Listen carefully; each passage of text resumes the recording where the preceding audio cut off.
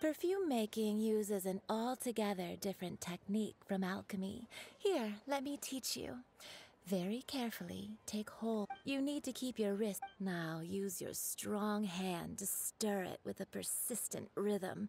Keep going until the juices start to come out.